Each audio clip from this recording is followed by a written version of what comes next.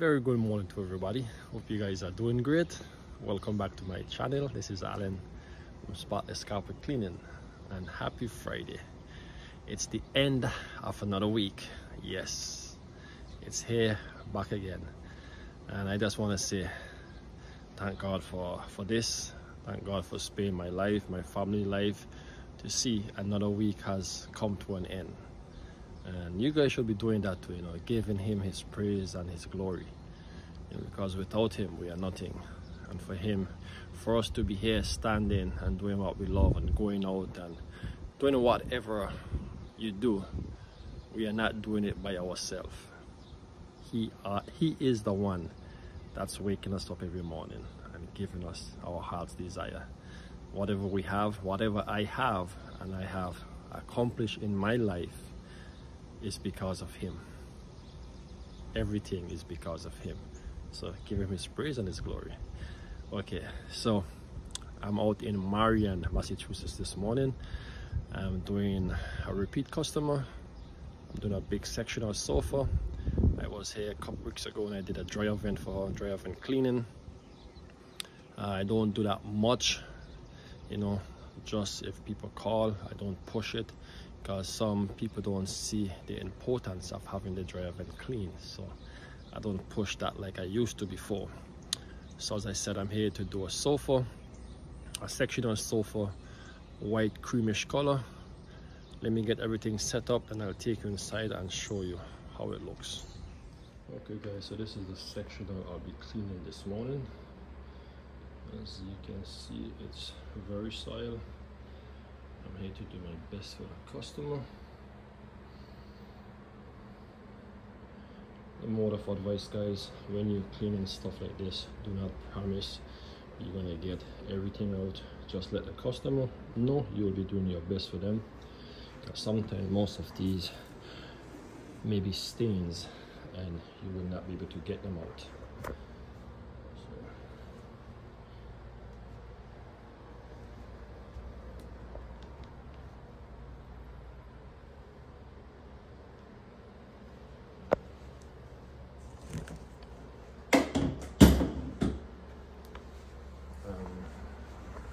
Is too small.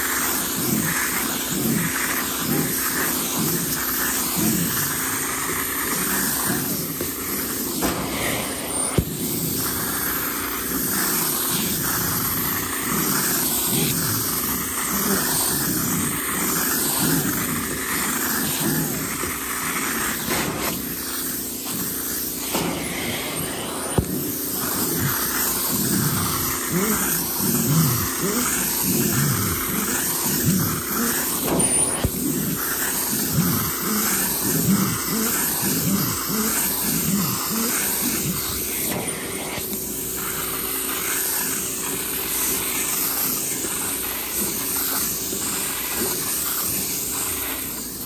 am finished with this section sectional here this morning.